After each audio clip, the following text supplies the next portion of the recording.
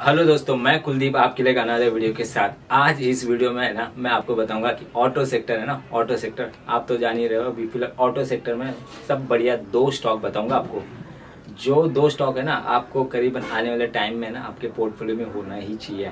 अब auto sector की अगर बात करते हैं ना, हम लोग, अभी फ़िलहाल जो सिचुएशन है ना, उस हिसाब से लोग बोल रहे हैं, यार ऑटो सेक्टर तो गाड़ियाँ बिक्री नहीं है, ये नहीं है, वो नहीं है।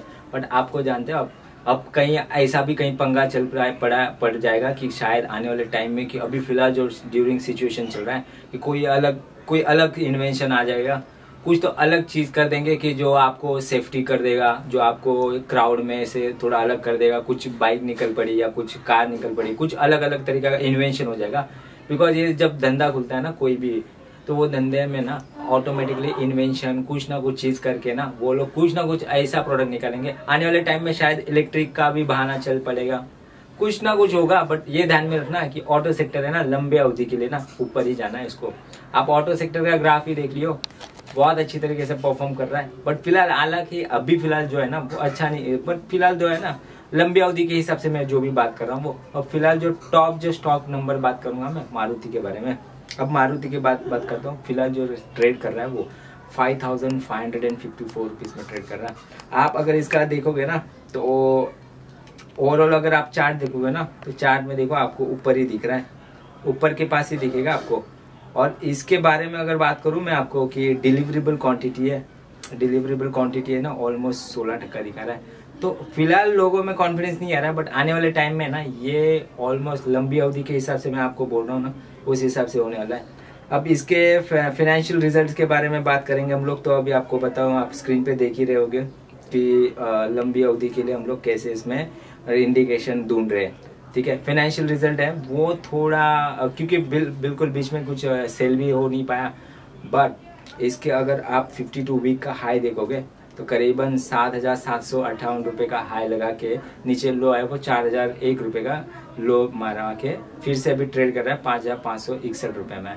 तो ओवरऑल अगर आप इसमें चीज़ में देखोगे तो आपको शेयर होल्डिंग पैटर्न देखना बहुत ज़रूरी है, क्योंकि शेयर होल्डिंग पैटर्न से ही आपको पता चलता है और शेयर होल्डिंग पैटर्न बहुत मस्का है, बहुत हेल्दी है बिकॉज़ इसमें जो प्रमोटर्स ने ना अपने कॉन्फिडेंस ये प्रमोटर्स का जो होल्डिंग है ना, वो तो एक अच्छा साइन ही होता है कि आने वाले टाइम में इसको पक्का ज़रूर चलना ही चलना है। क्योंकि इनमें को खुद के ही कंपनी में इतना कॉन्फिडेंस होता है कि इन लोगों ने 56 परसेंटेज जो स्टेक है ना, वो खुद के पास ही रख लिया। अब बोलो, अब बचा हुआ जो है, वो सारे यहाँ वहाँ बटोर गए। एफ़ ने बटोर लिया है ट्वेंटी परसेंटेज और डी ने 18.64 जो बचे हुए जो है ना, वो 3.46 है, समझ रहा तो ये बहुत बजाज ऑटो जो है, बहुत अच्छे वैल्यूशन में मिल रहा है। आप उसका पी फैक्टर फंडामेंटल फैक्टर्स है, जो काफ़ी सारे साइट्स पे आप जाके अगर चेक कर लोगे ना तो भी पता चल जाएगा। मैं यहाँ पे पूरी डिटेल में नहीं बात करूँगा, वो पर्टिकुलरली पी ईपीएस काफ़ी सारे छोटे छोटे फैक्टर्स है उसके बारे में। ये हो गया मारुति सुजुकी का पूरा एनालिसिस तो लंबी अवधि के लिए ये आपके पोर्टफोलियो में होना चाहिए। दूसरा बात करूँगा मैं आपको Bajaj finance Bajaj auto sorry मैं बजाज फाइनेंस बोल गया मैं। बजाज ऑटो के बारे में बात करूँगा। बजाज ऑटो का अगर आप देखोगे ना, आप स्क्रीन पे देख पा रहे हो, इसकी भी यही कहानी है। राहुल बजाज जी की है। ये जो कंपनी है ना, राहुल बजाज जी की कंपनी है। तो आप इसमें भी है ना, लंबी अवधि के लिए बिल्कुल आप दाव खेल सकते हो। ये लंबी अवधि के लिए हम लोग जब बात करते हैं तो आपको ये ना देखना है कि इसमें लोगों का इंटरेस्ट कितना है, ठीक है? आप इसको पहले देख लियो कि आपका जो ओवरऑल ग्राफ है ना, लंबी अवधि वाला ग्राफ बोल रहा हूँ, उस लंबी अवधि वाला ग्राफ है ना, ये देखियो, पूरा 90 डिग्री वाला दिखा रहा है। बीच में थोड़ा सा डाउन रिसेंटली तो देख रहा ना कि बी एस फोर का जो पंगा हो रहा था, उसके बारे में थोड़ा नीचे शेयर प्राइस झुका हुआ है। बट आने वाले टाइम में ये कुछ ना कुछ है ना देखिए, कैसा होता है ना, एक बार धंधा चालू हो गया ना तो ये इंजीनियर रख लिए, कुछ नए रिसर्च डिपार्टमेंट रख लिया, कुछ ना कुछ करके ना, ये आपको ना, कुछ ना कुछ तो नया गाड़ी लाएँगे या कुछ इलेक्ट्रिक व्हीकल लाएँगे, कुछ तो ऐसा चीज़ लाएँगे जो आपने अभी तक देखा ही नहीं होगा, समझ रहे हो? तो ये धंधा इसी तरीके से चलता है आपको, ये समझना ज़रूरी है, क्योंकि आप जब लंबी अवधि के लिए कर रहे हो ना तो आपको ये दिमाग में क्लियर होना चाहिए कि ये इनका धंधा कैसे चलने वाला है, समझ रहे हो आप? धंधा नहीं है ना तो बस तो बात करके मतलब नहीं है इसके बारे में, ठीक है? अब 52 वीक का हाई देख लिया। आप 52 वीक का है three thousand three hundred and fifteen rupees है। और नीचे लो है ना अभी रिसेंटली वो जो मार्च महीने में जो लो किया था ना, उसने seventeen hundred and eighty eight rupees का लो करके। बट फिर भी देखो, नीचे से देखो रिकवरी क्या अच्छी की है। सत्ताईस सौ एटी टू रुपीज़ में अभी फ़िलहाल ट्रेड कर रहा है। तो आप समझ रहे हो? इसमें लोगों का बहुत अच्छा इंटरेस्ट है। मार्केट कैप की तो बात करने की ज़रूरत नहीं यार। बहुत अच्छा मार्केट कैप है। ऑटो सेक्टर है ऑटो सेक्टर अस्सी हज़ार करोड़ का मार्केट कैप है। कुछ कम नहीं है। आप देखो ऑटो सेक्टर के हिसाब से। ठीक है? डिलीवरेबल क्वांटिटी भी अच्छी खासी बोलना पड़े। भले अभी इन्वेस्टर्स में थोड़ा कॉन्फिडेंस में आगे पीछे हो रहा है, पर लंबी अवधि के लिए तो होना ही है। इसके फाइनेंशियल रिज़ल्ट आप देख ही पा रहे हो। ठीक है? फाइनेंशियल रिज़ल्ट आपको लास्ट टाइम के हिसाब से मुताबिक थोड़े बड़े हुए दिखे रहे हैं। आप स्क्रीन पे देख रहे हो। मैं आपको डायरेक्टली पॉइंट पे है मुद्दे की बात करता हूँ शेयर होल्डिंग पैटर्न के बारे में।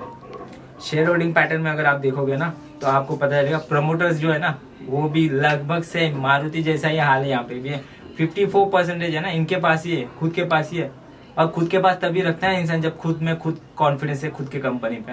समझ रहे आप? ये चीज़ बहुत क्लियर होना ज़रूरी है। एफ़ हो गए डी हो गए, लगभग चौदह और सोलह टक्का इनके पास होता है। और अदर्स के पास है ना, यहाँ पे भी रिटेलर्स हो गए, काफ़ी सारे एच एन हो गए, इन लोग के पास भी है करीबन सोलह टक्का है इनके पास खुद का स्टेक है।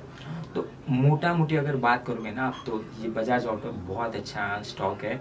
लंबी अवधि के लिए हम लोग सोच सकते हैं इसमें, बिल्कुल हम लोग। बट मैं एक आपको और बात क्लियर कर दू, जो भी मैं स्टॉक बता रहा हूँ ना, इसमें थोड़ा सा आपका खुद का इनपुट डालियो, खुद का रिसर्च करियो। कुछ भी अगर क्वेरी आता है ना तो आप मैंने, मेरे ईमेल आईडी पे जो दिया हो ना नीचे उसमें आप बेशक लिखिए बेशक क्वेरी डालियो आप, बिल्कुल, ठीक है? और इस वीडियो का अगर लाइक ज़रूर कीजिए, क्योंकि अगर अच्छा लगा ना तो ज़रूर लाइक ठोको इसमें।